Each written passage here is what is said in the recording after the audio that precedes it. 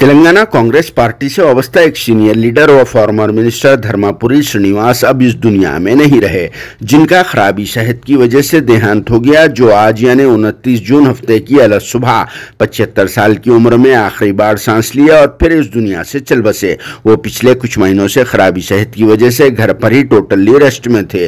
अनजहानी धर्मापुरी श्रीनिवास सबक में joint state Andhra Pradesh के वक्त प्रदेश कांग्रेस कमेटी के प्रेसिडेंट भी रह चुके हैं और उस वक्त आंध्र प्रदेश स्टेट में कांग्रेस पार्टी को पावर में लाने में बहुत ही अहम रोल भी अदा कर चुके हैं। और एक बार वो बीआरएस पार्टी के दौरे हुकूमत में राज्यसभा के एमपी भी रह चुके हैं। और बाद में सेपरेट तेलंगाना बनने के बाद धर्मपुरी श्रीनिवास बीआरएस पार्टी में शामिल हो गए थे और उसके बाद वो दोबारा कांग्रेस पार्टी में शामिल हो गए।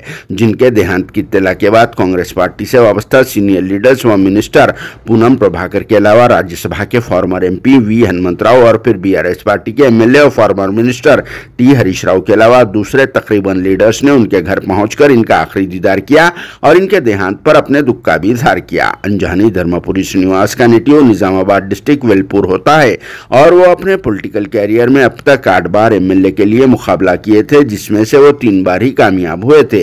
जिन्हें दो बेटे हैं, एक बेटा धर्मापुरी अरविंद, बीजेपी का एमपी है तो दूसरा बेटा धर्मपुरी संजय। निजामाबाद म्यूनसिपल कॉरपोरेशन का फॉर्मर मेयर होता है, जिनके देहांत पर तेलंगाना स्टेट के चीफ मिनिस्टर रेवंत रेड्डी के अलावा दूसरे लीडर्स ने भी अपने दुख का इजहार किया और कल तीस जून संडे के दिन निजामाबाद डिस्ट्रिक्ट में इनका आखिरी रसूमात अंजाम दिए जाएँगे। सरकारी एजाजात के साथ इनके आखिरी रसूमात को अंजाम दिया जाएगा। अंजहानी धर्मापुरी श्रीनिवास सोनिया गांधी के बहुत ही लॉयल थे।